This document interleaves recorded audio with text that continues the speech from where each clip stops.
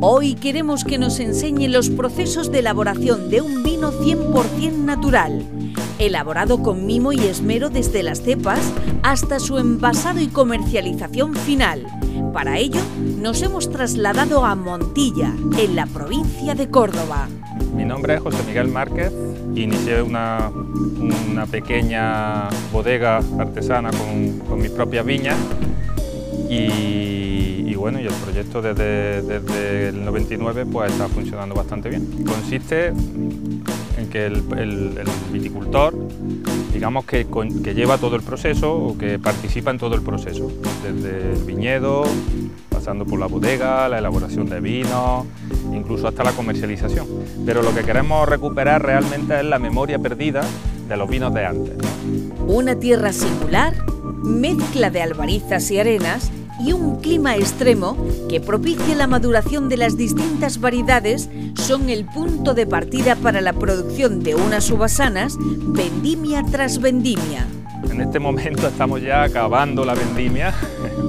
Con respecto a otras regiones de, de España, pues bueno, somos bastante más adelantados porque tenemos muchísimas horas de luz en Andalucía y eso hace que el proceso vegetativo, el recorrido vegetativo que tiene que hacer la planta sea realmente un poco más corto. El viñedo, desde que empiezas a trabajarlo y conforme vas elaborando tus vinos, ellos mismos, los propios vinos, te van enseñando eh, los errores que vas cometiendo y los aciertos. ¿no? El vino forma parte de nuestra dieta y nuestra cultura desde tiempos pretéritos. Y en esta bodega se elabora el vino únicamente mediante la fermentación del zumo de uva, sin aditivos. Continuamos en el término municipal de Montilla, en la provincia de Córdoba, donde estamos conociendo a un viticultor que elabora vinos de forma natural, a la manera de siempre, gracias a sus viñas, que le proporcionan excelentes variedades de uvas. Bueno, en realidad tenemos como siete u ocho variedades de uva.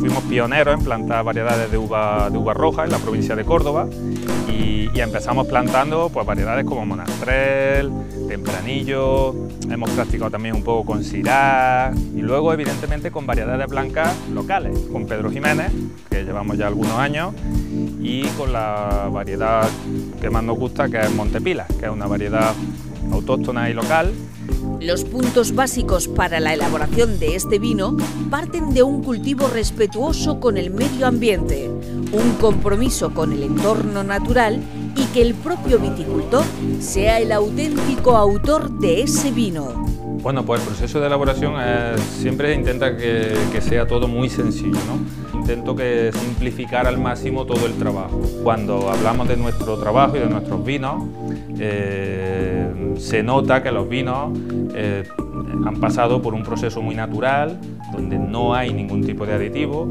los vinos están vivos, a la hora de tomarlos podemos sentirlos en la boca perfectamente, se pueden casi mascar esa uva y yo creo que reflejan muy bien la naturaleza del terreno y nuestra climatología tan singular que tenemos en el centro geográfico de Andalucía que estamos eh, en Montilla. Vino natural es vino hecho con uva natural, sin añadir ni quitar nada a esa uva. El resultado es un fiel reflejo de la tierra de la que nace ese vino.